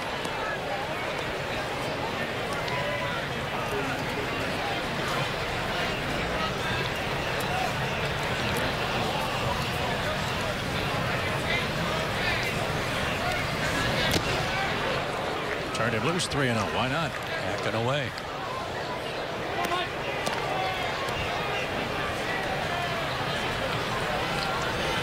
Dickey, Chapman, and O'Flaherty, the three Braves pitchers so, so far today. Montero and Robles are the Mets hurlers. And that's in the dirt ball four. So an infield hit and a walk. York has two on with nobody out. Lots of changes for Atlanta. Here's the defense going into the eighth. Adam Walker, Connor Lien in center. Mel Rojas Jr. is in right. Ruiz, Peterson, d'Arnaud, Tuiasosopo, and Suzuki around the horn and behind the plate.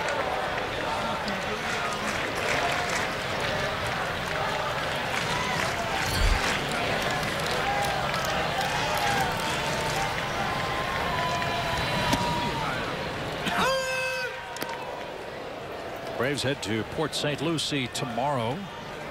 Matt Wisler will start for Atlanta. Matt Harvey will pitch for the Mets. And then we're back with you Monday night. The Braves will face the Tigers again.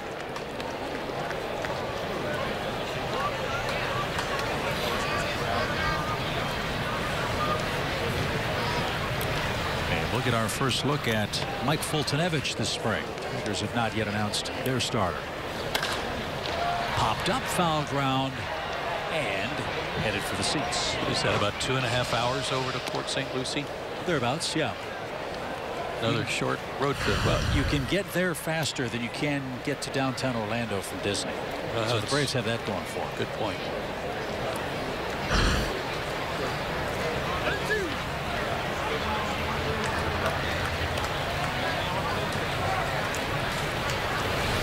There he goes. Two. Can you imagine if Orlando was like Phoenix, where there were a lot of teams, you know, in and around the perimeter and had to get from one park to the other on the other side of Orlando? Good luck. Game postponed. Man, traffic. Two balls, two strikes. And a chopper toward third. There's one. Double clutch throw to second in time. Might have had a chance for the around the horn triple play, but it took a little too long to develop. So Conforto rolls into the double play, or excuse me, Flores rolls into the double play. He's at first with two out.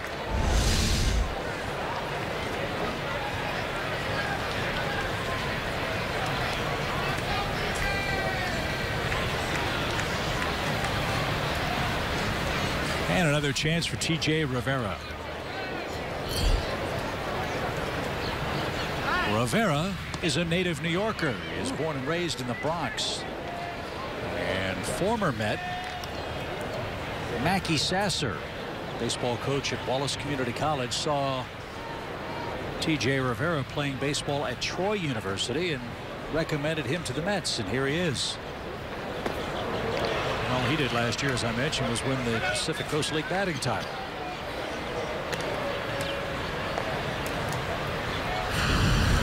He won the batting title and Conforto hit 400. The Las Vegas team had a pretty good lineup. Yeah. No balls and a strike. As we've reached three o'clock in Orlando.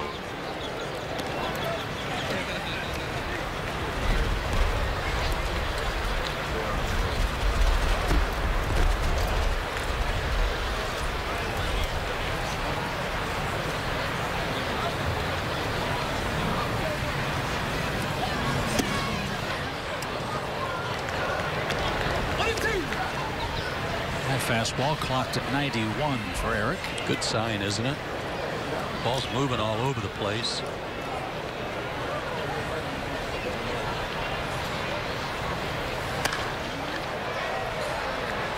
Rivera late, but he fought it off. Still, a ball and two strikes. Jace Peterson is going to lead off the Atlanta eighth.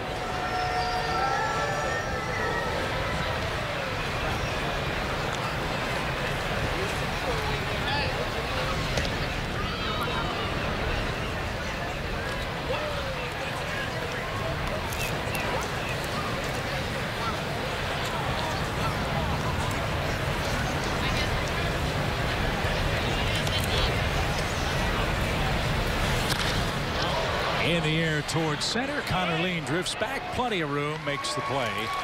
And Eric O'Flaherty uh, scoreless. Top of the eighth.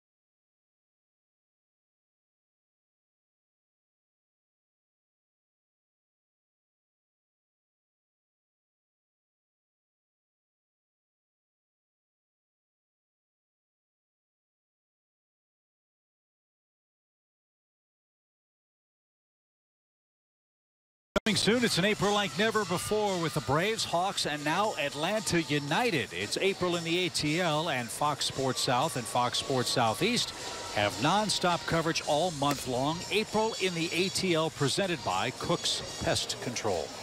Yeah, it's cool about having the new soccer team. Fans are really turning out for them. Wonderful. Wish them a lot of luck. There's one of the changes for the Mets in the eighth. Patrick Biondi. Champ Stuart takes over in center. And Josh Edgin, we've seen him before, is on in relief. Side arming sinker baller.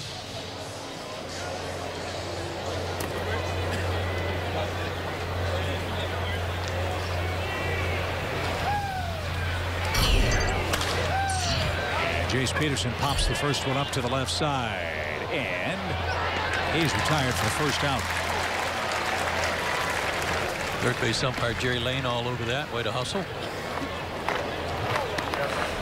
Had to turn around. That's spring training for the umpires too, you know. And here's Adam Walker.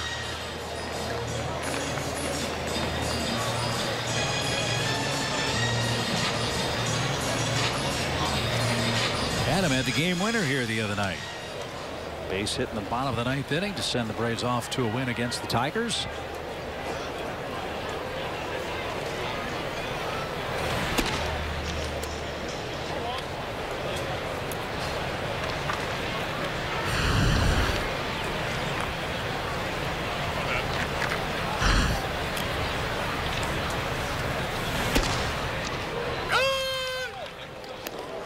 Guy's big and strong. A lot of power numbers in the minor leagues.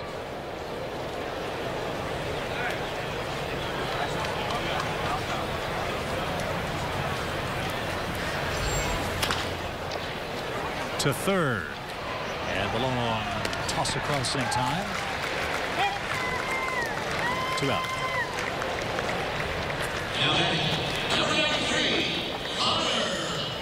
Here's Connor Lien. He's from Orlando. Went to Olympia High School. It's about seven miles from Walt Disney World over near Isleworth and Bay Hill. He had a good year going for the Braves in the minor leagues last year before a fractured wrist. Cost him about 70 games or so. It's a chance to play for friends and family in his hometown. That's always fun in the spring. That's nice.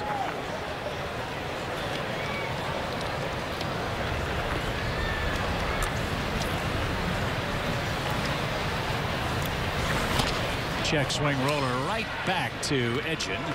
And it's an easy eight for the Mets left hand. New York's tossing a shutout at the Braves. We go to the ninth.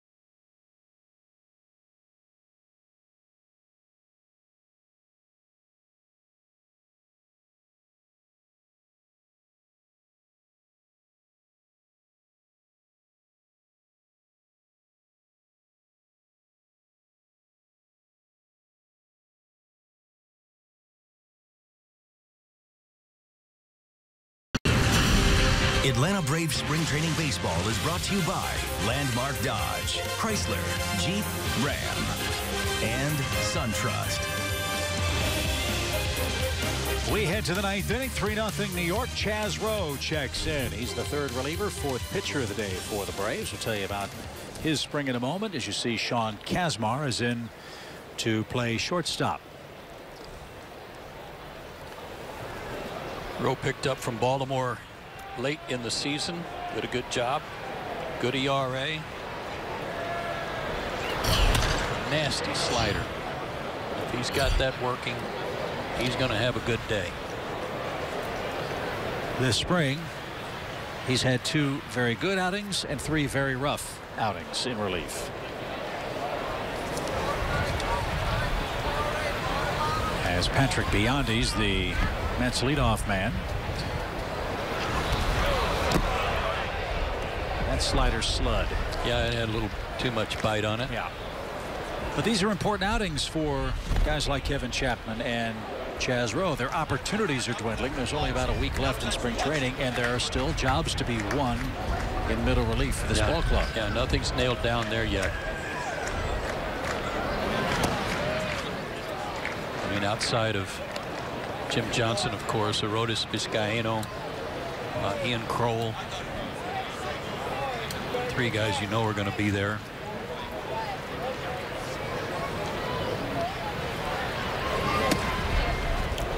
One of the keys this time of spring, you've had time to kind of work out some of the mechanical kinks if you're a pitcher, Chip, to throw strikes. You got you can't go out and walk guys and expect to get the attention of the staff.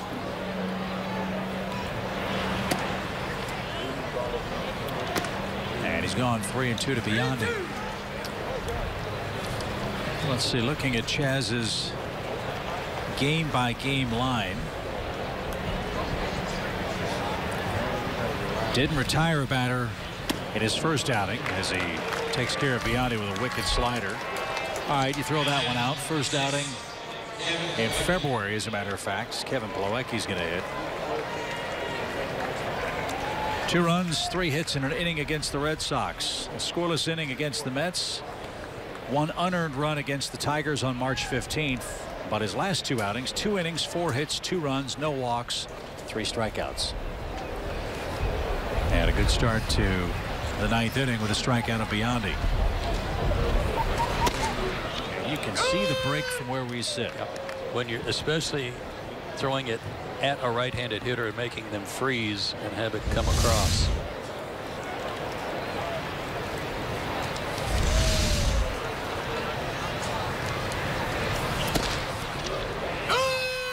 Then the fastball at 91.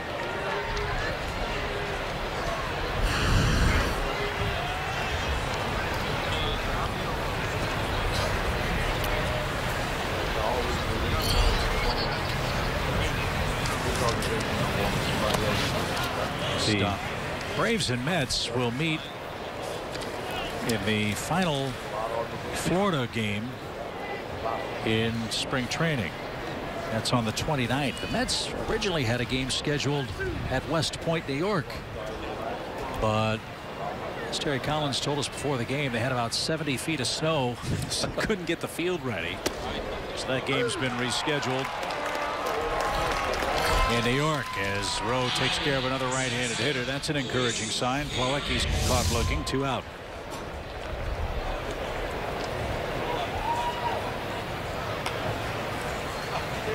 Flinch and a strike and he knew it.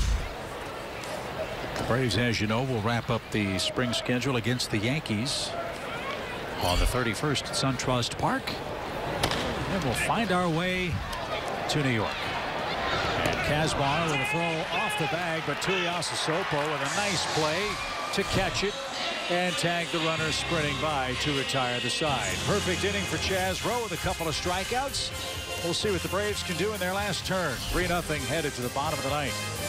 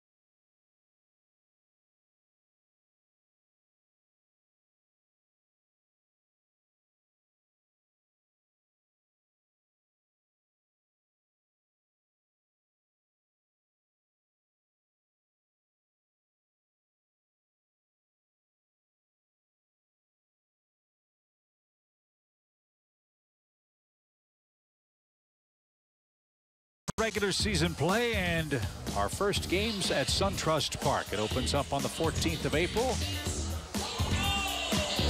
The most technologically advanced stadium in the country. The Battery of Atlanta and all its amenities. Always exciting to move into a new ballpark. You were with the Braves when they moved across from Fulton County Stadium to Turner Field. What was that like? I think because it was such a short hop across the street, it didn't seem like that major a move, that big a move, even though it was a beautiful ballpark to move into from old Atlanta Fulton County Stadium. Don't get me wrong.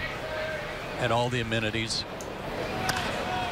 Chase d'Arnaud pops one up. Paul Sewald is the new Mets pitcher, a closer for them at AAA, and he's had an impressive spring. But we thought the center field plaza was something. You know, we thought, wow, that's different. Now there's kind of entertainment out there and restaurants and all that. That was a big deal. Other ballparks copied it, like Philadelphia. Well, this is major. I mean, this is a move out to Cobb County, first of all. But there's a city built around it. There's apartments, uh, condos, restaurants, theaters, bowling, the uh, uh, the Roxy, the Roxy venue. Uh, it's incredible. It, it's, it's just nothing like it. Kind of funny how baseball goes full circle, doesn't it? Because when you think of the great old ballparks, Wrigley Field and Fenway Park, they too were built in the middle of neighborhoods, shops, bars, yeah. restaurants. Now here we are over 100 years later and returning to it. It's Tuiasosopo. Hits one deep to left, but the wind will knock that down to out. In those days, the ballpark was forced to conform to the neighborhood. This one has a neighborhood conforming to the ballpark, and it's awesome. So last hope for the Braves is Balbino Fuenmayor. Saw him hit a home run against the Cardinals this spring. They'll have to put a charge in one to turn that wind around today. Big dude. Good cut.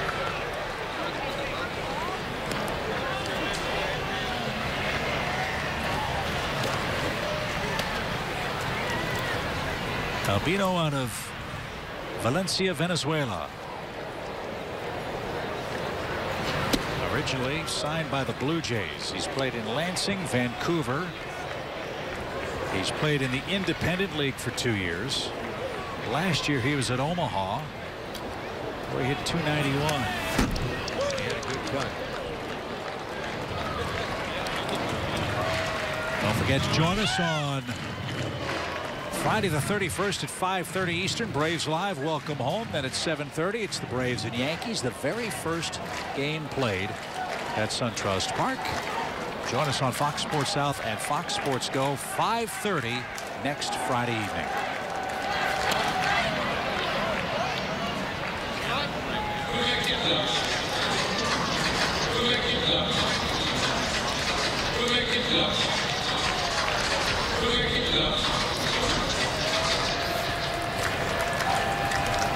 Are down to their last strike. One and two. And that's going to do it. The Mets shut out Atlanta three to nothing. They got two runs in the first. And that's all Rafael Montero and their bullpen needed as Terry Collins' crew beats R.A. Dickey and Atlanta by a final of 3 0. We'll recap it for you from Disney right after this.